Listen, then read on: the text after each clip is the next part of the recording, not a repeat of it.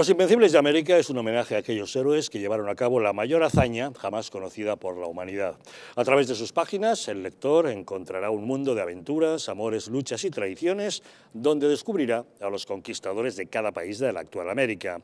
Conocerás la increíble gesta de Hernán Cortés, el arrojo de Francisco Pizarro, la gallardía de Hernando de Soto, la inteligencia de Malinche, la maldición de Moctezuma, la fortaleza de Cabeza de Vaca o el sueño del Dorado. Y el mejor modo de conocer a todos estos personajes y sus aventuras es entrar en su página web www.elgrancapitanediciones.es y pedir que nos envíen este libro cómodamente a casa. Descubre cómo los españoles forjaron la mayor nación mestiza del mundo, Hispanoamérica. La Guardia Civil está investigando el enchufe de un concejal socialista de Jerez de la Frontera en un cargo fantasma del Fondo de Empleo de Andalucía. El juzgado de instrucción número 6 de Sevilla ha citado como investigado al concejal socialista Francisco Camas, teniente de alcalde del Ayuntamiento de Jerez de la Frontera, por su presunta contratación irregular por parte de la FAFE, la Fundación Andaluza Fondo de Formación y Empleo.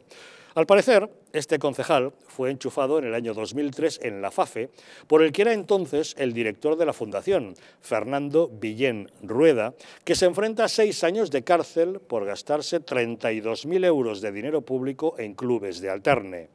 La FAFE, la Fundación Andaluza Fondo de, Formación y Empleo, se hizo tristemente célebre en 2011 cuando fue liquidada por sus irregularidades en pleno escándalo por el expolio de los seres de Andalucía y fue sometida a escrutinio en una comisión de investigación en el Parlamento de Andalucía.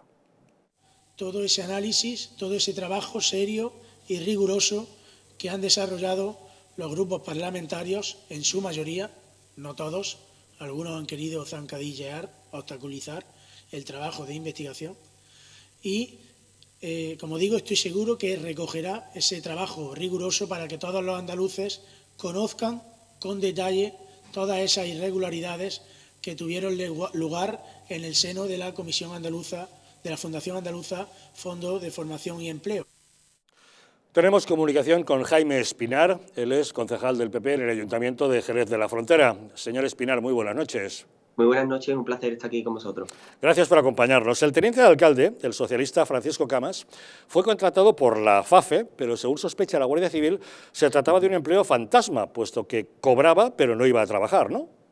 Exactamente. Eh, eso es una información que hemos conocido eh, con el último auto eh, judicial, pero no solo eso, no solo cobraba sin ir a trabajar, sino también, y son hechos objetivos, esta persona salió del desempleo directamente a un puesto de por vida en la fundación en la FAFE y después, cuando fue absorbida la FAFE por el SAE, por el Servicio Andaluz de Empleo, adquirió un puesto de por vida en el Servicio Andaluz de Empleo y además, como recoge el propio auto judicial, llevando a cabo un cargo superior a la categoría que le correspondía y, por lo tanto, percibiendo un salario superior a lo que le corresponde, lo que le correspondería por categoría y además parece ser que además sin ir a trabajar, parece y recuerda un poco al caso de la mujer de Juan Espada, que ni siquiera supo contestar en la comisión de investigación de la FAFE cuáles eran los programas que utilizaba. por lo tanto, lo que se demuestra aquí es que no solo eh, tenía un cargo fantasma, sino además que el proceso de selección fue del todo irregular, según se recoge en el auto judicial. Le hicieron un puesto a medida que no existía, le pusieron un sueldo más alto del que correspondía a su categoría laboral, hicieron una contratación a dedo, sin un proceso de valoración, pero según han estado preguntando por lo visto los investigadores a los compañeros de trabajo, hay gente que ni le conoce, que no le veían por ahí, que apenas iba, que, que no iba a trabajar, ¿no? Sí, sí, exactamente. Hay personas que incluso llegan a decir que apareció un día por allí de buena a primera y que se jactaba de decir que él era miembro del Partido Socialista, que era amigo de Alfonso Guerra, que era amigo de Antonio Fernández, Antonio Fernández que esta semana o hace pocos días ha sido condenado de nuevo en la sentencia de una pieza separada de los ERE y que incluso se jactaba de que no tenía un horario fijo, que entraba y salía eh, cuando quería y también se jactaba de decir que tenía una formación de sociólogo que también se ha demostrado que es falsa. Por lo tanto, estamos hablando de que es una persona que no se le vio el pelo, al parecer, y según se recoge en las actas de esta investigación de la Guardia Civil, no se le vio el pelo por ese puesto. Por lo tanto, estamos hablando de una persona que cobró y estuvo cobrando sin desempeñar un cargo, desempeñando un cargo público. Y al parecer se jactaba también de tener amistad personal con Fernando Villén, eh, que era el, director de la FAFE justamente, y además de un modo muy poco prudente, porque el señor Villén fue condenado por gastarse 32.000 euros de dinero público en prostíbulos, ¿no? Exactamente, y aparte es algo que recoge también el, propio auto eh, judicial que se ha hecho público hace escasos días en un medio de comunicación, en el que se dice que esta persona, el señor Francisco Cama, habría obtenido un impuesto de por vida en la administración pública, y lo dice, y cito textualmente, sin más mérito que su afinidad y vinculación personal y política con los responsables de la FAFE y en particular con el señor Guillén Rueda. Esto lo dice concretamente el auto judicial, por lo tanto, eh, se ve esa relación que tenían el señor Francisco Cama con una persona que está siendo investigada por algo tan grave como es gastarse el dinero de los parados andaluces en prostíbulos. Después, muchas veces nos preguntábamos aquí en Andalucía que cómo era posible de que después de pagar tan impuestos, el infierno fiscal que había en Andalucía cuando gobernaba el Partido Socialista, cómo era posible que eso, que eso no se retornara en inversiones o también que no se retornara en crear empleos, por ahí vemos que se estaba gastando el dinero de los parados en lo que no se debería de gastar nunca. Por lo tanto, lo que se ve aquí es que había una corrupción institucionalizada por parte del Partido Socialista de la Junta de Andalucía. La alcaldesa socialista, Mamen Sánchez, sabía lo del empleo fantasma y a pesar de eso eh, mantuvo a Francisco Camas en sus listas y le volvió a nombrar teniente de alcalde, ¿no? Exactamente, eso es lo que a nosotros nos llama más la atención porque eh, realmente esta información que se ha conocido, lo, nuevo que hemos conocido últimamente, es ese que era un cargo fantasma, pero que esta persona había accedido a un puesto de por vida de la administración mediante enchufe, se sabía y sobre todo porque nos valió esa acusación que le habíamos hecho desde el Partido Popular, nos valió una denuncia por parte de este señor que nos pedía, eh, creo que eran 3.000 euros por daños morales por haberle llamado enchufado y en la propia sentencia que desestimaba pues este recurso que nos había presentado, el propio juez decía que dada la documentación presentada por este señor había indicios de que no había obtenido un puesto en la administración pública por mérito y por capacidad. Por lo tanto, esto fue hace tres años, la señora Sánchez lo sabía y aunque ahora se haga la nueva y diga que, que esto pasó hace muchísimos años, desde luego que pasar hace muchísimos años no es sonera de una responsabilidad que creemos política que debe asumir este señor, que debe dimitir de todos sus cargos. Pero claro, también llama la atención de que, claro, también está la sombra de la sospecha de cómo accedió la señora alcaldesa de Jerez a un puesto también en una fundación pública, en este caso vinculada al Ayuntamiento de Jerez y a la Diputación de Cádiz. Por lo tanto, parece ser que tampoco podrá tener mucha carga moral de pedir la dimisión de una persona cuando también sobre ella recaen las mismas sospechas. Con el debido respeto a la presunción de inocencia, deberemos esperar a que haya una sentencia para saber de lo que estamos hablando, pero sí llama poderosamente la atención que siga en su cargo manejando fondos públicos una persona que ha cometido presuntamente delitos de prevaricación y de malversación. Exactamente, nosotros siempre lo, lo hemos dicho y creo que, lo deben hacer todos, todos los políticos, lo debemos de hacer todos los políticos, que es eh, defender la presunción de inocencia, pero siempre. No vale hacerlo a la carta. No vale que con este caso salga la portavoz del Partido Socialista en el Parlamento andaluz diciendo que vamos a esperar, vamos a esperar. En cambio, cuando citan por error a la consejera de Agricultura, que pasó en Andalucía la semana pasada por error, que al día siguiente dejó de estar citada, el Partido Socialista salió en tromba a pedir la dimisión. Por lo tanto, una cosa es la responsabilidad penal, que ahí nosotros ni entramos ni salimos, pero la responsabilidad política sí la pedimos porque existen unos hechos objetivos. Es decir, no estamos hablando de que está imputado o llamado a investigar por unas cuestiones que no se conocen o porque hace falta mayor investigación. Es que hay unos datos objetivos. Y es que la vida laboral de este señor, que es, que es pública porque los medios de comunicación lo hicieron pública, sale que del paro pasó directamente a un empleo de por vida cuando las justificaciones de, cuando, de por qué había tenido ese empleo decía que es que había pertenecido a una fundación anterior y que esa fundación había sido absorbida por la FAFE. Y eso se ha demostrado que es falso porque en su vida laboral, entre que trabajó en esa fundación y trabajó en la FAFE, había estado en desempleo. Por lo tanto, son hechos objetivos que además están siendo contrastados por la investigación de la Guardia Civil. Por lo tanto, para nosotros sí creemos que debemos estar eh, para que este señor pues deje su cargo porque creemos que no puede estar administrando el dinero de los herezados una persona con este historial y con unos datos objetivos tan demoledores como los que recoge este auto judicial. Cuando la FAFE fue liquidada debido al escándalo en el año 2011, la propia sentencia decía que esa fundación había estado funcionando como una agencia de colocación del PSOE andaluz durante ocho años, desde el 2003 hasta el 2011. Sí, exactamente, incluso esta misma semana y otro, en otro auto judicial, porque eh, las irregularidades en la FAFE están siendo investigadas en, creo que son nueve o diez piezas separadas. Por un lado está lo que es la utilización de las tarjetas black en prostíbulos y en cuestiones poco decorosas. Y también está el asunto de la señora, de, que es la mujer de, Juan Espada, que eso esta semana hemos conocido que el juez Vilaplana pues, ha pedido que se investiguen más de 80 contratos vinculados al Partido Socialista, entre los que se encuentran alcaldes, familiares de alcaldes, familiares de altos cargos del Partido Socialista. Por lo tanto, se ve que esta fundación lo que habría servido es como agencia de colocación del Partido Socialista, según los indicios que parecen apuntar, y después se demuestra pues esa tela de araña que tenía el Partido Socialista, esa corrupción supuestamente institucionalizada que utilizaba el fondo de los parados, que utilizaba dinero de los parados para embolsar los, los bolsillos del Partido Socialista y eso está, se está demostrando. Y otro dato que creemos que también es muy significativo y es que más de 150 millones de euros estuvieron sin justificar en esta fundación. 150 millones de euros que nunca se reclamaron, es decir, que se dieron a fondo perdido y nunca se reclamaron. Por lo tanto, estamos hablando de que es un auténtico de propósito lo que hizo el Partido Socialista con el dinero de todos los andaluces. Ha mencionado usted a Juan Espadas. En el bloque anterior de este programa, en el que hemos estado hablando de los seres de Andalucía, hemos mostrado una fotografía que vamos a reproducir de nuevo. En ella se puede ver claramente a Juan Espadas, al líder de los socialistas andaluces. Ahí le tenemos posando con sus compañeros, que son los condenados José Antonio Griñán, Manuel Chávez, Gaspar Zarrías, Francisco Vallejo y Antonio Fernández. Una imagen que sin duda le persigue y no le beneficia en nada como candidato a presidir la Junta. ¿Hasta qué punto puede salpicar todo este escándalo a Juan Espadas, que es el candidato del PSOE a las próximas autonómicas?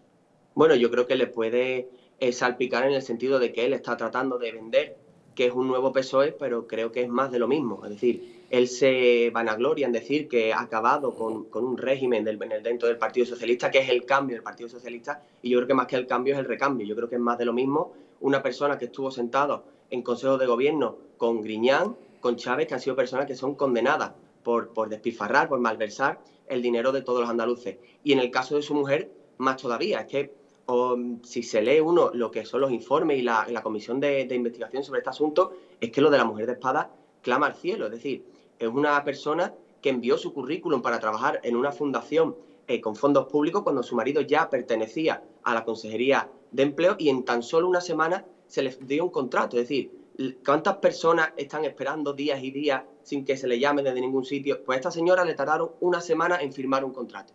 Y también llamaba la atención de que se ha demostrado que hay una serie de documentación, una serie de, de fax en la que se le requiere a esta señora que dé su número de cuenta que dé su DNI, su seguridad social, dos días antes de firmar el contrato. Por lo tanto, nosotros creemos que en este caso hay mucho que el señor Juan Espada tendrá que explicar y mucho que la mujer de Juan Espada tendrá que explicar. Y yo espero que se explique mejor que lo que se explicó en la Comisión de Investigación de la FAFE. Y todos esos escándalos que usted nos está comentando vienen a sumarse a lo que mencionábamos antes. Hace solamente unos días se producían dos nuevas condenas a cárcel de exdirigentes socialistas de la Junta, en concreto el exconsejero de Empleo y el exdirector general de Trabajo y Seguridad Social, por piezas separadas de los ERE, y el rosario no va a terminar, puesto que quedan todavía 103 eh, casos relacionados, piezas separadas del escándalo de los ERE, con lo cual es de suponer que esa sombra de la corrupción les seguirá persiguiendo durante mucho tiempo. Sí, eso está claro y aquí en Jerez pues lo estamos viendo. El señor Antonio Fernández es miembro del Partido Socialista de Jerez, eh, del que incluso la señora Mamen Sánchez, está ahí la, la hemeroteca, dijo que era un represariado político, una persona que ha sido ahora condenada a siete años eh, de cárcel por malversar los fondos de, la Junta de Andalucía. Por lo tanto, ahí, ahí llega la institucionalización, como digo, de la corrupción que supuestamente ha habido en nuestra tierra, desgraciadamente, durante demasiado tiempo. Yo creo que el Partido Socialista se creía que, que eran eternos en Andalucía, se creían que esto era su cortijo, que no pasaba absolutamente nada, que esto era suyo. Sin embargo, la justicia al final y el tiempo ponen a todo en su sitio. La justicia está poniendo a los que malversaron el dinero de los andaluces donde tienen que estar y el tiempo ha puesto al Partido Socialista donde tiene que estar es en la oposición. Y esperemos que estén muchísimos, muchísimos años más, porque desde luego no se puede tolerar que el Partido Socialista vuelva a tener el control de los fondos de la Junta de Andalucía, porque vemos qué es lo que hacen cuando ellos están gobernando. Bueno, dejaremos que la justicia actúe y veremos qué es lo que ocurre y nos mantendremos al corriente del tema. Don Jaime Espinar, concejal del PP en el Ayuntamiento de Jerez de la Frontera, muchas gracias por habernos acompañado en Los Intocables. Muchas gracias a vosotros. Un saludo. Bueno, don Roberto, estábamos hablando de enchufados, por eso usted me planteaba el tema, nuevos casos de enchufismo tenemos por ahí. ¿Qué nos bueno, en este caso concreto, eh, que estamos siempre un poco en lo mismo, en, analizar un caso o analizar el conjunto, porque yo tiendo siempre a analizar el conjunto. Pero bien, vamos a centrarnos ya en este caso, eh, de un señor único. No hablamos de los 28.000 que hay en, la estructura paralela y que siguen ahí. Eh, eh, lo que se está hablando de este señor es que, bueno, ya se ha dicho, no lo voy a repetir, pero que sigue o va a cobrar unas subvenciones públicas. Y yo digo, Vamos a ver, ¿y la Junta de Andalucía no tiene nada que decir a esta historia? ¿Mm? Eh, el Partido Popular lleva dos años y medio en Andalucía. ¿Qué cosas han cambiado? Dice este señor del PP, dice, bueno, es que los socialistas decían que no pasaba absolutamente nada, ¿eh? porque este era territorio suyo. Bueno, es que no pasaba absolutamente nada. ¿Cuántos ¿Cuántos de estas agencias, consorcios, fundaciones, sociedades mercantiles que dijo Bonilla que se iba a cargar todas, cuántas se ha cargado? Ninguna, ninguna. Y más, y más, su socio, eh, eh, el, vicepresidente, que es de Ciudadanos, eh, que gobernó con Susana Díez durante cuatro años y es corresponsable de todo lo que allí sucedió y ha enchufado ha enchufado a legiones de gentes, de ciudadanos también en esta estructura, ¿eh? bueno, pues ahí sigue tan contento. Entonces, eh, miren ustedes, está muy bien eh, este tema, pero vamos a la mayor, claro, que diga este señor, dice que decían que no pasaba absolutamente nada. Y no ha pasado absolutamente nada, mi querido amigo, absolutamente nada. Y nada más una cosa, y perdóname porque lo hemos dejado eh, colgado de antes mm, y, bueno, esto es muy trascendente, no, no tiene que ver con lo anterior. A ver, ¿qué quiere usted decir? Pues, bueno, que en la, visita que hizo el señor Scholl aquí a Madrid, y, tú mismo lo has dicho, en una de las cosas que se te debe haber escapado, que a España en el año 23 le corresponden 23.000 millones de euros, pues que es el dinero, perdón, que es el dinero, que es el dinero eh, que le toca en todo caso de los fondos europeos. Es decir, que el, que el, Banco Central Europeo no le va a dar nada. Este año, por si no lo sabes, eh, en los presupuestos generales del Estado, es decir, el 22, España necesita conseguir en los mercados 260.000 millones de euros. ¿eh? Esto no me lo estoy inventando yo, lo puedes mirar en cualquier sitio, pero están los presupuestos y tal. De esto, 90.000 millones son deuda nueva y 170.000 es dinero para refinanciar vencimientos de deuda. Eh, no voy a entrar en ello, eh, pero es que el año que viene va a ser exactamente lo mismo, porque este año, eh, entre unas cosas y otras, los 90.000 más o menos pueden llegar a salir, pero los 170.000 no sé de dónde van a salir.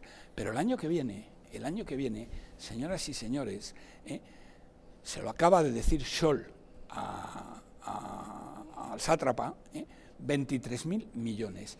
Y el año que viene España tiene necesidad de 260.000. ¿De dónde narices va a salir ese dinero? Bueno, aclarado y completado el tema Scholz, por lo que veo. Sigamos con el tema que nos ocupa. Algo más en este programa. Eh, vamos a ver. Decía Roberto que además le gusta mucho ser preciso que Ciudadanos gobernó con Susana Díaz. Me da igual lo que haga Ciudadanos en Andalucía, no tengo ninguna necesidad de defender lo que ha hecho Ciudadanos, pero lo que hizo Ciudadanos en Andalucía fue apoyar a Susana Díaz para que formara un gobierno en solitario, no gobernó con Susana Díaz. Lo digo por aquello de ser No, no, pero enchufó legiones de los suyos. Lo digo ¿eh? por aquello de ser rigurosos, Roberto. sí, bien, pero que enchufó legiones de los suyos. En fin, eh, no voy a entrar en algo que, no, que, desconozco. Tú sabes de todo, yo me limito a hablar de lo que sé. Y de lo que sé es de la situación en la ciudad y en la comunidad de Madrid. Porque ya que os preocupan tanto los chiringuitos, que a mí me parece muy bien que os preocupen, a mí también me preocupan, pues hombre, claro, que hablemos de todo esto. Jerez de la Frontera, un caso que es muy importante, Jerez de la Frontera, no digo que no, pero ojo, que es que aquí... Hablamos de ello por la investigación de la Guardia Civil, ¿eh? no porque hayamos escogido, a ver cuál aireamos hoy, ¿no? Pero fíjate, Javier, que es que en Madrid hemos tenido todo esto de los chiringuitos, somos eh, la comunidad líder en esa materia. Cuando ha habido alguna intervención judicial o policial con respecto a alguna, lo hemos contado exactamente igual. Y no solo, y no solo intervención. Eh, hablabais de la crítica ¿no? y además de ese, ese gasto improductivo, que es cierto, cuando un político decide eh, otorgar un puesto a dedo, eso es lo que estáis planteando en el, en el vídeo, otorgar un puesto a dedo a una persona de su afín, de su confianza, la que quiere, digamos, mantener en una buena posición. Si ahora usted va a mencionar alguno que consideremos que si era oportuno ser nombrado, pues no lo sé, a lo mejor debería haber hecho posiciones. Os voy a nombrar a en, dos. este, en este caso que hemos mencionado, la utilidad estaba clara que no, pero bueno, Dejadme nombrar a dos. mencione, mencione usted a los que considere oportuno. Y a ver si. y a- oye, que igual me, me convencéis de la utilidad de, las, No del- de los chiringuitos estos. Abascal, Fundación para el Mecenazgo y el Patrocinio Social, 82.491 euros. Creado exprofeso por Esperanza Aguirre cuando el Partido Popular en el País Vasco hace limpia y a Abascal lo mandaron a Madrid. Tony Cantó, oficina del español más reciente, lo digo un poco porque Abascal ya se nos queda atrás, ¿no? Aunque él ahora critique mucho los chiringuitos. Pero Tony Cantó, este oficina del español. O sea que, claro que es legítimo, pero si nadie, nadie, dice que no sea, nadie dice que no sea legítimo. Pero vosotros hacéis dos críticas aquí. Y a mí no me parece bien. Pero aquí, aquí hacéis Vamos. dos críticas. No hacéis solo la crítica judicial, que podría ser una opción. Oye, criticamos un proceso eh, judicial exclusivamente cuando se ve que hay alguna irregularidad. No, hacéis dos críticas. Y además, buena parte del discurso, que yo no comparto el término liberal, pero de lo que se entiende por liberalismo, es precisamente esa crítica al eh, gasto improductivo. Bueno, pues es que en Madrid tenemos ejemplos de gasto improductivo, como por ejemplo esa oficina del español con Tony Cantó al frente, 72.000 euros que todavía no se le conoce ningún tipo de resultado, ni siquiera de trabajo. ¿no? Y luego un último matiz. Decía el concejal del Partido Popular en Jerez de la Frontera. Es que eh, Juan Espadas, que ya os he dicho, partiendo de, de lo que os he dicho, el Partido Socialista en Andalucía, si quiere volver a gobernar, tiene que hacer prácticamente una refundación. Pues por, por la- por todo lo que estáis comentando. Pero si estar en un consejo de gobierno, si estar en una foto con imputados o con condenados te inhabilita para desarrollar, para desempeñar un cargo público, os voy a poner otro ejemplo también muy madrileño. Nadie ha dicho que le inhabilite, ¿eh? No, no, lo decía él. Sí, sí, he tomado nota. Te inhabilita. Bueno. Eh, lo ha dicho. Juan Espada está inhabilitado para. lo recoged el, eh, el vídeo. Os voy a dar un ejemplo muy cercano y muy aterrizado a Madrid. Concretamente Madrid Ciudad. Concretamente el alcalde, José Luis Martínez Almeida, secretario general del Consejo de Gobierno, Ignacio González. ¿Estaría inhabilitado para ser alcalde? Yo digo que no. No sé qué decir vosotros.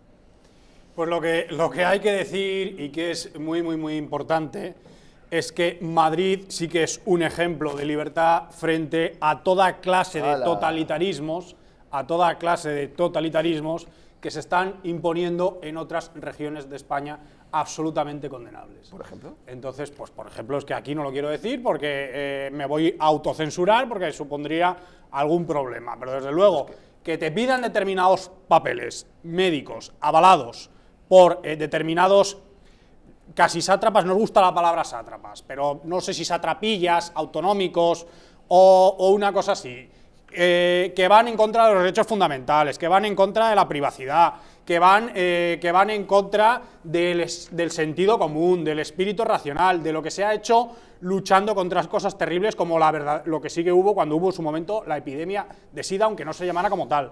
Pues eh, que haya satrapillas autonómicos del Partido Popular, totalitarios que practican totalitarismo y que lo único que hacen es hacerle el juego a determinadas multinacionales que están arriba del todo, significa que si Madrid no ha ido por ahí, hay que felicitar a Isabel Díaz Ayuso, aunque meta la pata en cuestiones como la de Tony Cantó, porque se lo han impuesto. Porque Madrid, porque Madrid es eh, líder en a ver si no era suficientemente libre. eh, en no machacar, en no machacar a la gente, en no machacar a la gente, en tener unos impuestos reducidos, esa es la ¿Ah, sí? En ¿Ah, ser la única comunidad autónoma que ha suprimido todos los impuestos propios Pero si y cobraba 300 entonces por eso. Madrid es un ejemplo de libertad y es un ejemplo de buen funcionamiento. El modelo de Madrid es el modelo que se tiene que exportar a toda España, especialmente en una semana en la que hemos sabido que el plan del gobierno es terminar de destruir la clase media atacando muy especialmente a los autónomos con unas cuotas que son absolutamente inasumibles por la inmensa mayoría de los autónomos y que van a por la clase baja y a por la clase media. Esa es la diferencia Esa es la diferencia. Entonces, lo de Madrid es lo que funciona bien y es lo que se debe exportar a toda España, volviendo a Andalucía en cosas que se han hecho muy mal, me da exactamente igual quien los haya hecho. Yo estoy en las ideas y en los casos concretos. A mí, desde luego, si alguien me pilla en un doble valor, me lo decís, porque no me gustan. O sea, si me pilláis ahí, me lo decís y lo intentaré corregir. Lo que está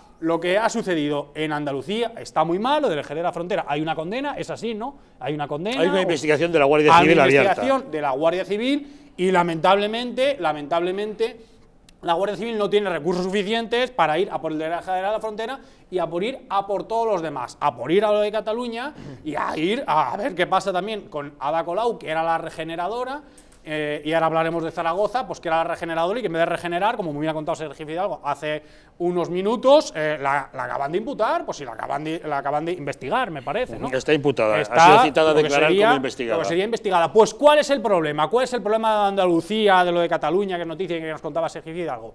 Pues que el Partido Popular y el Partido Socialista se pusieron de acuerdo para a los imputados llamarles investigados y que todo esto fuera por otro lado. Entonces, la cuestión no está en precisamente tratar de esconder estos fenómenos. Eh, lo que se trata es de denunciarlos y de medidas, de medidas, de que la transparencia funcione bien, de la que precisamente Pedro Sánchez es el antiejemplo, de que, o, Podemos que ha eliminado el portal de transparencia, pues de lo que se trata es de poner medidas y de, eh, de tener garantías para que la gente, para que la gente cuando se denuncia, y yo he metido reclamaciones por algunos casos, en algunos sitios eh, verdaderamente repugnantes, pues es muy difícil. Entonces lo que queremos son medidas. Son medidas para que quien denuncia, porque en un concurso público de contratación puede haber concursos y pueden estar muy, muy bien marevados. Pero se mete mano para favorecer al amiguito de turno o a no se sabe quién. Y, eso también se hace en muchos sitios. Pues eso es lo que hay que luchar. Es que la Guardia Civil ni siquiera puede llegar ahí aunque tuviera todos los medios del mundo. Entonces lo de la Frontera es importante denunciarlo como uno de los casos, pero hay que denunciar todos los demás y lo que hace falta y lo que está pidiendo la ciudadanía son medidas porque el Partido Popular y el Partido Socialista para lo que se ponen de acuerdo es para decir no, al imputado no le llame esto imputado, llama al investigado y a ver qué pasa. Pues ese es el problema. Tres matices a lo que dice ¿Me Rubén. permite? Sí, eh, un momento que querías apuntar algo, yo voy, voy contigo, sí. Eh, ¿Querías apuntar algo? Oye, yo le cedo la palabra a Roberto. Pues adelante, luego don Roberto, apunto, luego venga. apunto. Luego apunto. Así, Cortesía parlamentaria. Te lo, te lo agradezco. así Vamos enlazo ver, con lo que diga Roberto. Vamos a hablar de números, que es lo mío.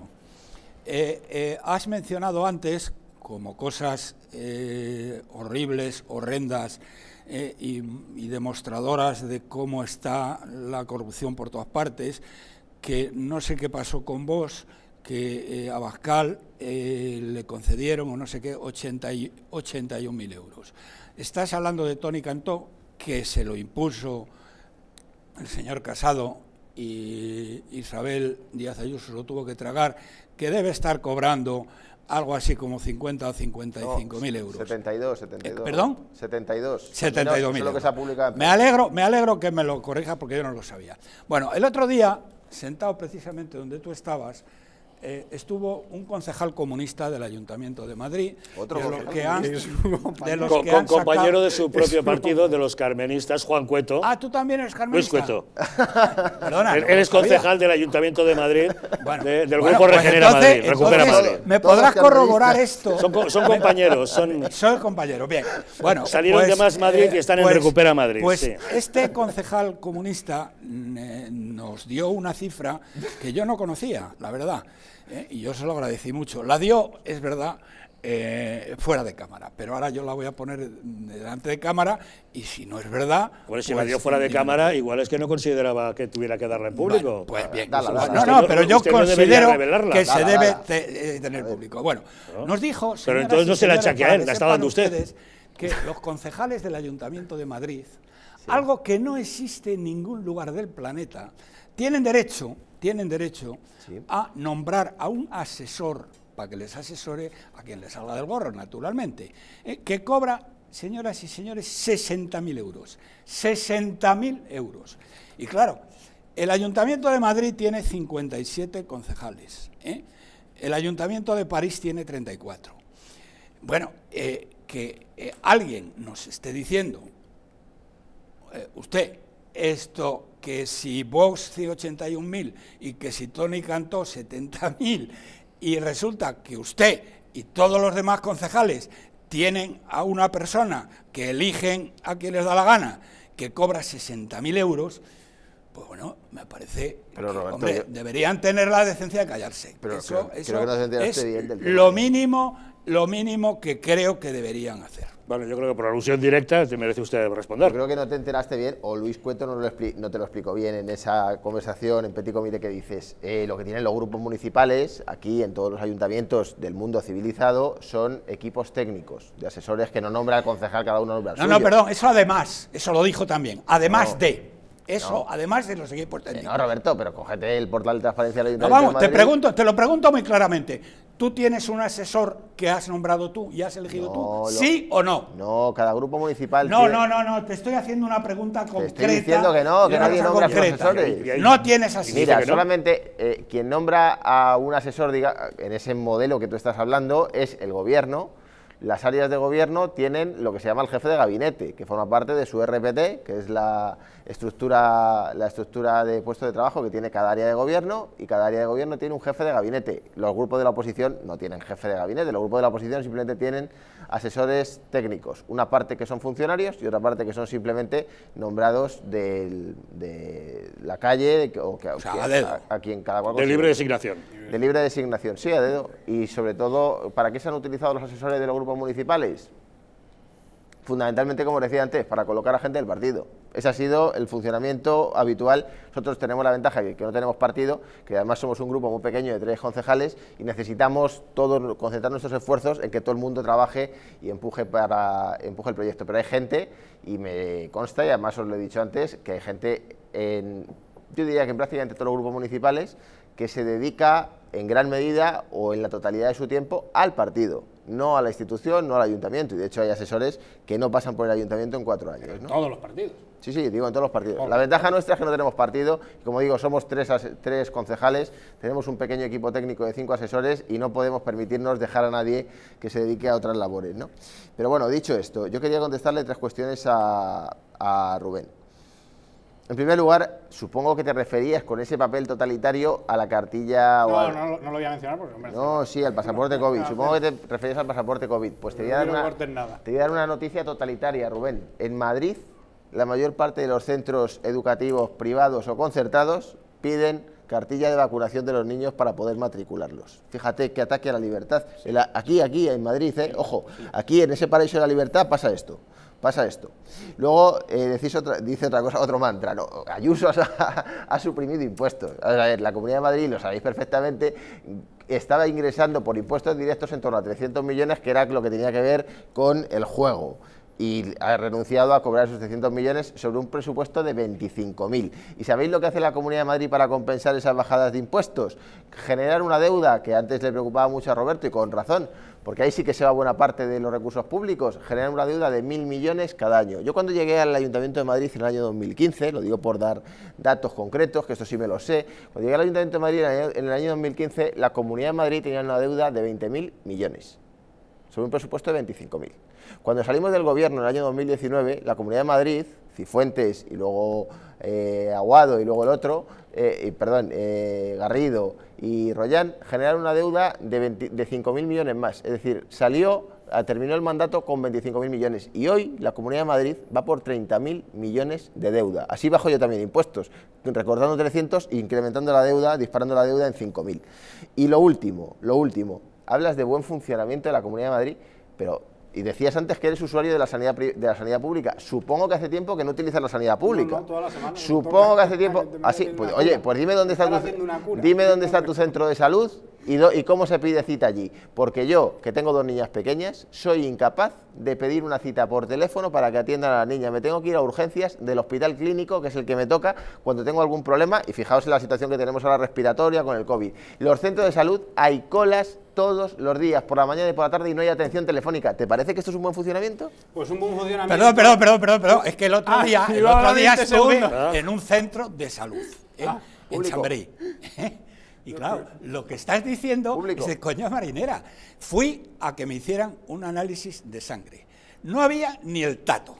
Os doy una... Eh, oye, perdona, no había ni el tato. Me hicieron, había una persona delante de mí y me hicieron una analítica de sangre. Entonces, este invento comunista de que los centros de salud de Madrid están atestados y que no te reciben es un camelo que ¿Te no vienes? sé cómo no se os cae la cara ¿Te de vergüenza de decirlo. Porque si no vas como fui yo, pues esto que tú estás diciendo pasaría por bueno. Y es mentira de toda Atre- mentira. Vamos a hacer aquí- No hay, no había ni el, reto. ni el el otro día reto. en el centro de Te salud voy a lanzar un Que, me, reto. que me corresponde. Te voy Así a que no nos reto. cuentes novelas. Te voy a lanzar un reto. Te voy a lanzar un reto a ver si te atreves. Te- ¿Nos vamos mañana tú y yo por la tarde a mi centro de salud? A ver si hay cola o no.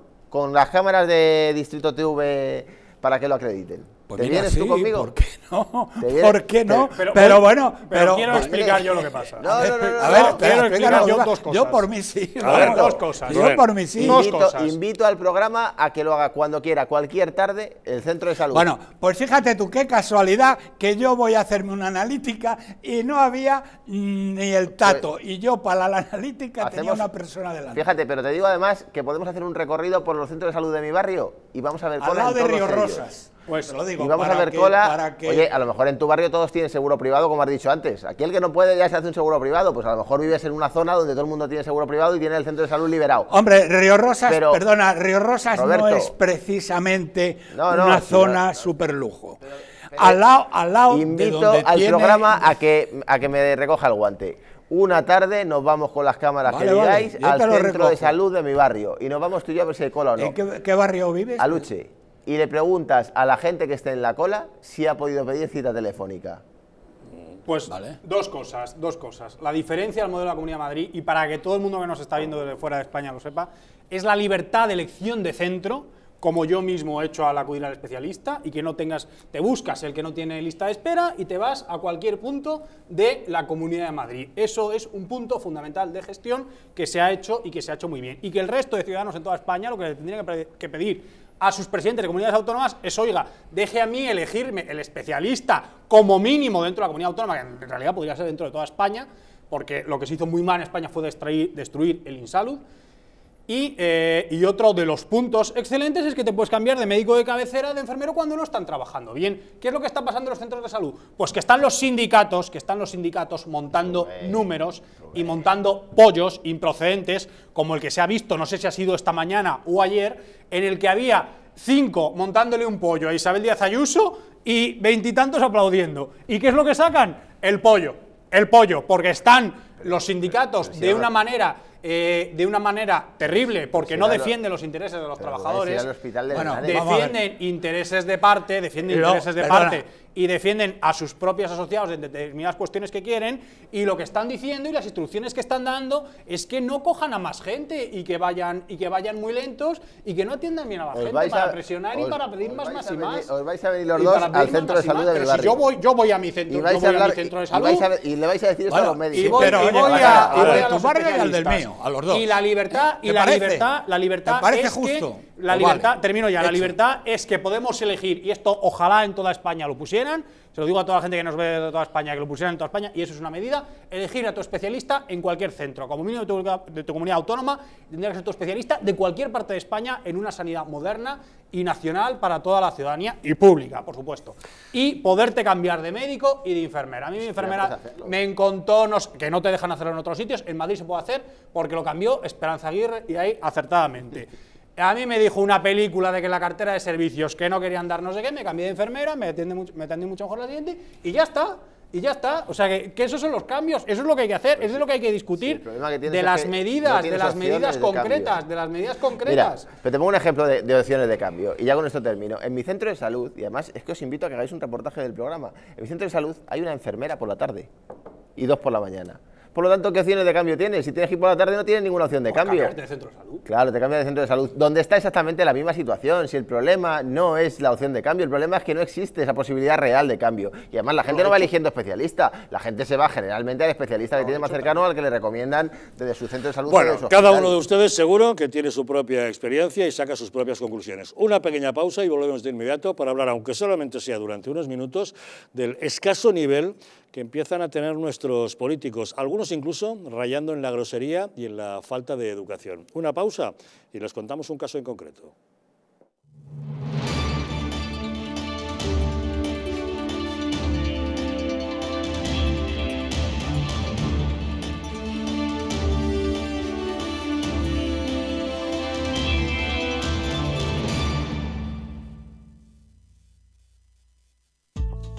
La presencia del colágeno en la composición de huesos, piel, ligamentos, cartílagos y tendones es imprescindible para frenar su deterioro. Sin embargo, a medida que envejecemos, su producción se reduce. Colacel Antiox de Mundo Natural combina en una misma toma colágeno hidrolizado puro, antioxidantes, ácido hialurónico y vitamina C que contribuye a la formación normal de colágeno. Haz del tiempo tu gran aliado. Colacel Antiox.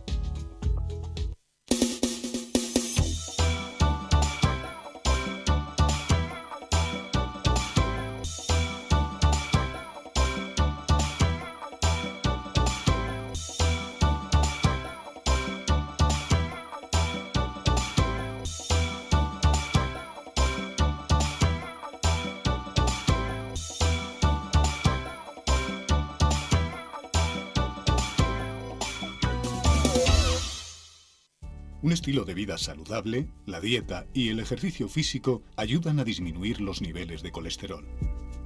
Divecol Forte de Mundo Natural contiene cardo mariano, coenzima Q10 y levadura de arroz rojo que aporta 10 miligramos de monacolina K que contribuye a mantener niveles normales de colesterol sanguíneo. Protege tu corazón, protege tu salud.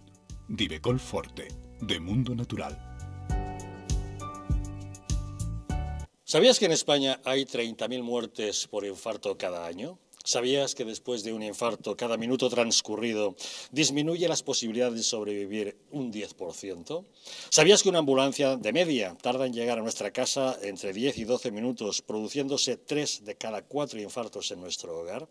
Nace en España el proyecto Protege tu vida con el objetivo de salvar más de 7.000 vidas al año. Ahora, salvar tu vida depende de ti. Crea en tu hogar un espacio cardioprotegido con el mejor desfibrilador y de fácil uso. ¿Qué precio le pones a tu vida? Llama ahora al teléfono 900-730-061 o entra en nuestra página web www.protegetuvida.eu y verás que proteger tu vida cuesta muy poco. ¿Quieres dormir tranquilo sin pensar en si cobrarás tu alquiler? Con nuestro servicio de gestión integral podrás olvidarte de tus preocupaciones porque Arrenda se encarga de todo, pagándote el día 3 de cada mes sin excusas. Si tienes una vivienda alquilada o estás pensando en hacerlo, contáctanos. Arrenda, el alquiler seguro y garantizado. ¿Estamos en un auténtico Estado democrático o estamos en una patritocracia? Porque este programa se hace para ustedes. La ciudadanía está quedando atónita a lo que estamos viendo. Vamos a ver cosas que nunca se imaginarían. Lo que ha pasado en España demuestra que Falconetti no es tonto. Que la democracia, ¿qué es lo que es, amigos? El imperio de la ley. Esta izquierda rancia lo que quieren es exterminar todo aquello que no piensan exactamente igual. El castigo va a ser terrible para todos los partidos. Recuerden que no les engañen, porque la verdadera libertad consiste en estar bien informados.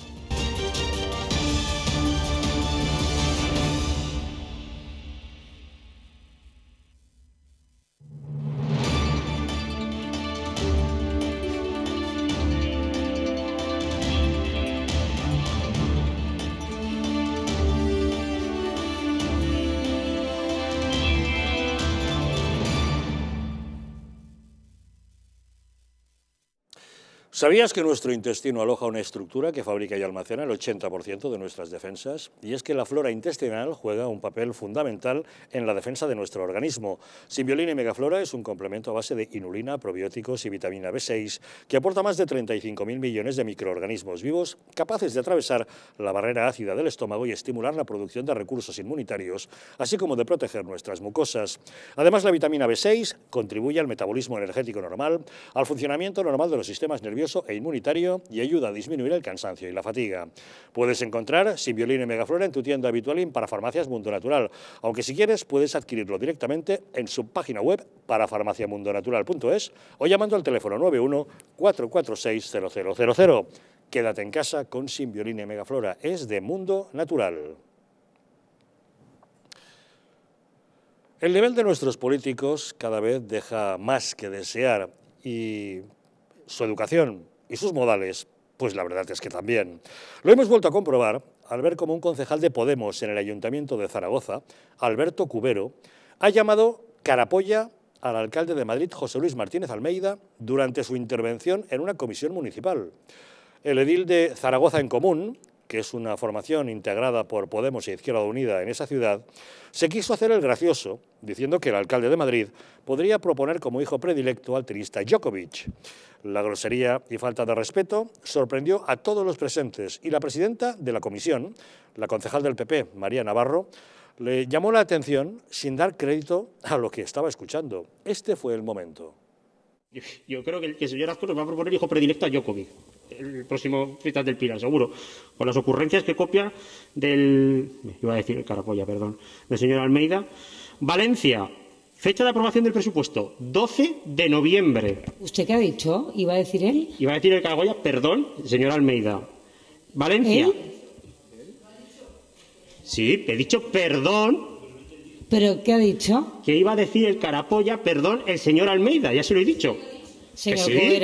a ver, a ver, a ver, mm, perdón, eh, pero por, Dios, eh, hay cosas... Señora Navarro, que me disculpa, eso lo he dicho, que no, tengo nada más que decir, que no, que no es correcto decirlo, se me iba a escapar pero es que no hay pase, yo me he quedado sorprendida porque digo, no puede ser que un concejal del ayuntamiento diga lo que acabo de escuchar, por eso le he dicho, ¿usted qué ha dicho? Mm, ruego ruego que esos insultos, desde luego, mientras yo Señora Navarro, pero que se lo he dicho. No se vuelvan a dar. Pero que no se, nos pueden escapar, ¿eh? Que sí, sí, perdón, ya sabes, yo no, tendría que decirlo.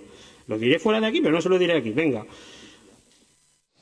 Este Alberto Cubero, mm, juzguen ustedes, se creerá muy gracioso, pero yo creo que no tiene relación y es un grosero, no sé, ¿qué te parece?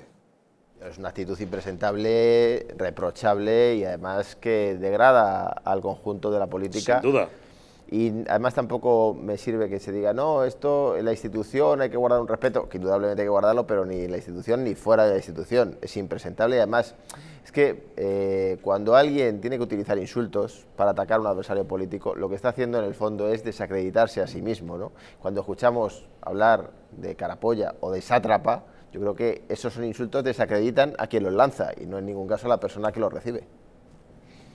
Bien, pues vamos a ver. Eh, este señor, además de decir cosas inapropiadas, creo que no sabe ni de lo que está hablando, porque que nos corrija eh, nuestro concejal aquí presente, que representa a, todos los madrileños, que representa a todos los madrileños, pero, y porque tanto había insistido con lo de Almudena Grandes, si este señor que solo insulta dice hijo predilecto, hijo predilecto si has nacido en la villa.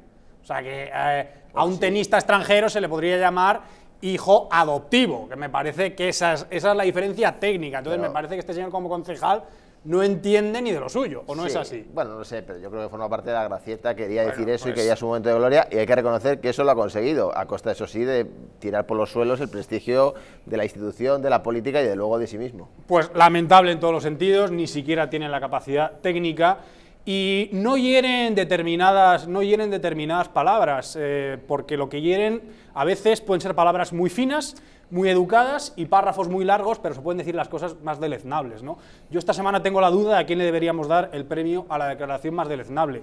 Si a este señor de Zaragoza, que no sabe ni de gestión municipal, o a un exdiputado que no voy ni a mencionar, pero que esta semana comparaba a Vox con Bildu y con palabras muy educadas y muy finas rellenaba 10 tweets comparando a Vox con Bildu. Esas declaraciones me parecen incluso más deleznables que este insulto y, pues, me parecen las peores declaraciones de la semana. Casi sería el premio, como se decía antes, premios naranjas o premios limón. Este el premio limón a las declaraciones más deleznables que hasta Carlos Martínez Gorriarán, exdiputado UPyD, decía estos, eh, estos chicos de máster caro que no tienen moral. Pues eh, tiene, tiene razón Carlos Martínez Gorriarán no se insulta por determinadas palabras, sino que se insulta a veces de formas muy finas y, con, eh, con muchísima y con una palabrería que lo puede justificar todo. Pero comparar a Vox con Bildu como esto es una cosa absolutamente de lo más deleznable y además lo que os tenéis que preguntar es qué os ha pasado a todos estos concejales del cambio que no saben ni siquiera de cuestiones técnicas de las que están hablando, porque cuando se supone que venía esa gran hora del cambio, en el 2015, y si tan malo hace Ayuso, y si ahora tan malo hace Almeida, ¿cómo puede ser que en el 19 echasen a Zaragoza a, a estos señores de Zaragoza en común, que me parece que es al que está representando? Así Se- es. Pues se fuera, se fuera también Carmena, se fueran todas las mareas de Galicia, o ¿quién- sea que en esos cuatro años de gestión ¿Quién ganó no conseguisteis una mayoría suficiente ¿Quién ganó las para articular un programa de gobierno, ni en Zaragoza, ¿Quién- quién ni en Madrid, ni, en Madrid? ni en tantos sitios. Y en, y en Barcelona, porque salió la cosa así, con Rubén. ese gran fichaje, Rubén. con ese gran fichaje de Valls. ¿Quién ¿no? ganó las elecciones en Madrid? Pues eh, no, la- eh, es que ganar las elecciones en los sistemas parlamentarios, Sí, que el ayuntamiento sí, no es un parlamento como Bueno, tal, ni legislatura. No vamos a entrar en ese debate que cada, Pues gana- cada- gana cada quien partido lo, cada partido lo aprovecha Lo cuando le interesa. Enhorabuena, He- he- Almeida. He tenido más votos, pero es que no has gobernado. Claro. Ah, pero es que es legal Ah, la- pero los Javier, acuerdos. el, el partido más votado fue el Partido Socialista. ¿eh? Enhorabuena, ¿No? ¿En Almeida, por la invitación. Enhorabuena, Almeida, por la fue invitación. la plataforma Más Madrid, encabezada por Manuela Carmena. Y que Almeida sacó un pésimo resultado, que además creo que alguna vez lo hemos una mayoría de gobierno. Espera un momento. Y ahora, con, ahora se la habéis mantenido vosotros. O sea, que, es Espera. que- Claro, que lo debe estar haciendo bastante bien. imaginemos- Pero bueno, eh, es igual. eh, no vamos a entrar, insisto, en ese debate. la- imaginemos- El partido más votado, ¿quién gobierna? Eh, porque estamos en lo mismo. Pero imaginemos ¿no? que, que Ciudadanos hubiera tenido otra posición en ese momento, como le pasó a Valls, que lo comentaba. Pues la aritmética parlamentaria hubiera sido Pues distinta, podía- pero la cuestión, que, eh, que es un poco Pero lo que se son, son lícitos Rubén, los gobiernos que tenemos, incluido a todos. Legitimísimos. Eh, siempre incluyo a. Pedro Sánchez, que Pero- necesita el apoyo de otros partidos. Pero, Javier, incluyo pero, Javier, lo que digo es- A, un partido que tiene menos votos, pero pacta. que- a todos. Lo, lo que digo es que cuando una persona, que es un poco lo que yo creo que estaba cuestionando Rubén, cuando una persona como Manuela Carmena se presenta a refrendar su gestión y obtiene exactamente el mismo resultado que obtuvo en 2015, medio, creció. medio millón de votos, No creció. ma- es una me, me gestión parece correcto que, queda ustedes, los carmenistas, defiendan la- a Carmena, es lógico. No, pero es una gestión que queda refrendada por el electorado. Otra cosa es que luego la aritmética parlamentaria te sitúa donde te sitúa. Corre- que correcto, pero es, es lícito en los acuerdos parlamentarios, con lo cual todos nuestros gobiernos son lícitos, ¿no? Y Son si legales. Fíjate vale. que yo llego a un acuerdo con Almeida para aprobar los presupuestos. Madrid. Así es, y eso les ha costado un concejal, pero ahora, ahora me lo contará. Eh, damos el paso a Roberto y si nos queda tiempo quiero hacerle una pregunta acerca del precio que han pagado por eso. Bueno, eh, mira, esto, mm, yo voy a hablar, eh, no creo que mm, habéis dicho ya lo que hay que decir de, de esta mala educación, eh, bueno, de que no ¿Y entonces va a hablar de otra cosa distinta? No, no, no, no, quiero hablar de Almeida. Quiero hablar de Ah, Almeida. bueno. eh, Porque hay una pues, cosa, pero es que y si, se, además, si se me va a desviar del tema, yo es que le quiero hacer una pregunta al señor que hay Calvo. un representante eh, de los que le ha votado, del grupo comunista que le ha votado. Bien, A ver, pues sea, sea breve, por favor. pues, ¿eh? Que sea breve. Voy a ser muy breve. Eh, señoras y señores, eh, me he encontrado anteayer, ¿eh? Eh, vivo en Chamberí, que es lo- la zona central de Madrid, en una de las calles, una placa que acaban de poner, ¿eh? una placa que acaban de poner que pone lo siguiente, que la ha puesto el ayuntamiento, ¿eh? que pone a un tal Carlos Javier Idígoras Navarro, asesinado por la extrema derecha el 7 de junio de 1981. Pero yo le explico Y yo, yo ya, le ya le pregunto- explico, no, ya le explico yo lo que es. Eh, en, en Madrid hay una ruta de la libertad compuesta por 47 placas dedicadas a víctimas del terrorismo por un acuerdo suscrito en el año 2014 en el Ayuntamiento de Madrid. Esas placas, que se empezaron a poner en la época de la alcaldesa Carmena, no incorporaban la bandera de España. Entonces, justamente ahora, por un acuerdo del nuevo equipo municipal, han decidido retirar las placas que había y sustituirlas por la misma placa incorporando la bandera de España. Ahora se acaba de colocar, debido a la concesión de un acuerdo menor, de obra menor, la colocación de seis placas, entre las que se cuenta la que usted menciona, aparte de una mujer asesinada por ETA y de tres personas asesinadas por el Grapo. Y a lo largo de los siguientes meses se irán completando hasta completar las 47 placas que incorpora esa ruta de la libertad. Es decir, no es que hayan puesto una placa a una persona asesinada por la extrema derecha y usted de inmediato iba a preguntar, ¿y por qué no ponen placas donde había una checa o no sé qué? No, es que forma parte. Entonces, no, los puede ser discu- 127 asesinatos puede, puede ser de ETA en Madrid. sí, pero usted sé que iba por estas placas, entonces ya le explico yo lo que era, puesto que forma parte de eso, es decir, forma parte de esa, donde también hay placas en cada uno de los lugares de Madrid donde cayeron todas las víctimas de ETA, víctimas del Grapo y víctimas de lo que se considera terrorismo. Otro tema sería si consideramos a unos casos de terrorismo, otros no, pero bueno, es a lo que se refería usted. Queda aclarada su pregunta, entonces. Aclarada O- totalmente. otra teoría de la conspiración que le acabas No. de montar a Roberto. No, pero, pero esos son datos. Y, an- y antes de que entraseis en confrontación por Él algo. creía que Madrid ya estaba cayendo en manos del Pero, comunismo. pero, señor Calvo, ¿es Mira. correcto lo que yo acabo de explicar? Perdona, ¿me Correctísimo. permites Muy bien. explicar Entonces una quiero, cosa? quiero hacer, ¿Me una, una- quiero hacer una pregunta al señor Calvo, que vamos a ver. Como ustedes saben, eh, em, Recupera Madrid es una formación con cuatro concejales que se escindieron de Más Madrid, el partido que, encabezaba la coalición liderada por Manuela Carmena.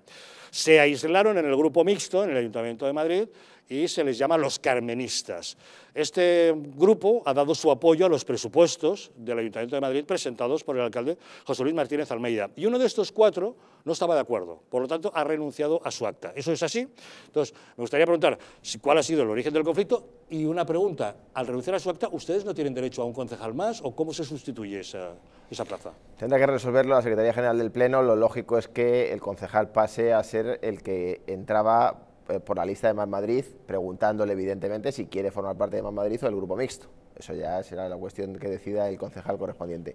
Dicho lo cual, eh, yo sí que creo que, fíjate, lo que, el ejercicio que hemos hecho de generosidad por las dos partes, ¿eh? porque me parece que el hecho de que el gobierno de Almeida y Villacís, yo creo que aquí hay que, no hay que olvidar el papel que ha jugado Ciudadanos, ¿no? que ha querido apartarse claramente de Vox y estaba, y, estaba por la labor de buscar ese apoyo presupuestario en otros grupos. Creo que ese y nuestro trabajo que hemos hecho por nuestra parte de buscar ese acuerdo y de tratar de, llegar a ese punto de consenso, me parece que es un ejercicio de innovación política. La propia Manuela lo ha valorado en alguna entrevista que ha dado recientemente, pero fíjate, y con esto termino un minuto, eh, hay y hemos recibido todo tipo de ataques por parte de la izquierda. En nuestro caso, a Almeida le están atacando desde la extrema derecha. Jiménez Los Santos todas las mañanas le dedica parte de su homilía. Eh, nosotros, mm, buena parte de la izquierda, nos, nos llama traidores, nos llama vendidos. ¿Por qué? Porque no se admite desde la trinchera ideológica que tú puedas salir de tu trinchera y darte la mano con el que piensa diferente, con el que tiene una posición ideológica distinta. Y esa presión creo que ha influido mucho en nuestro compañero Felipe Llamas, que... Dos preguntas hacer. La, la primera. ¿Felipe Llamas abandona su grupo justamente por eso, porque se niega a prestar su apoyo a lo que considera un partido de derechas como el PP?